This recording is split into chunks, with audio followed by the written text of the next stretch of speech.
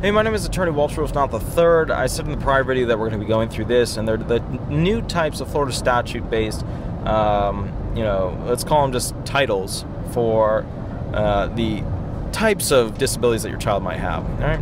My name is Attorney Walter Hnot. Here we go. Let's first go over the 504 and IEP. 504s are basically those classes where they just add a specialized class on top of a normal class schedule, where there are normal classes plus a special class. IEP, Individualized Education Program, is basically where a person is in a totally different program, a totally different, you know, setup, and they're doing a, you know, special classes, multiple special classes, and that's their group, that's their program, okay?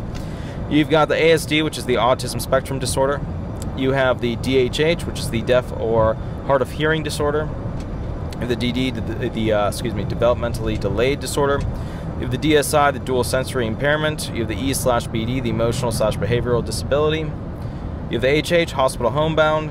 The IND, intellectual disabilities, the LI, language impairment, the OI, orthopedic impairment, the OHI, other health impairments. You have the SLD, specific learning disabilities, SI, speech impairment, TBI, traumatic brain injury, and VI, visual impairment.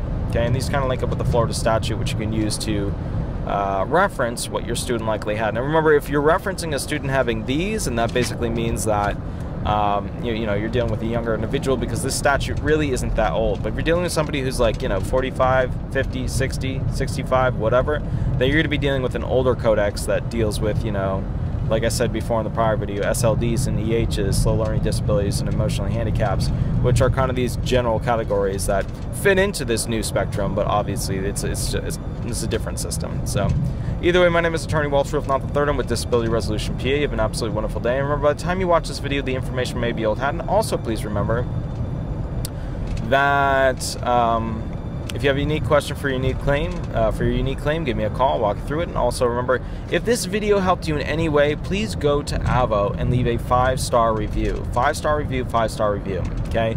I've recently started caring about what Avvo thinks about me because apparently it's all over the web that Avvo exists and blah, blah, blah, and it's becoming a standard.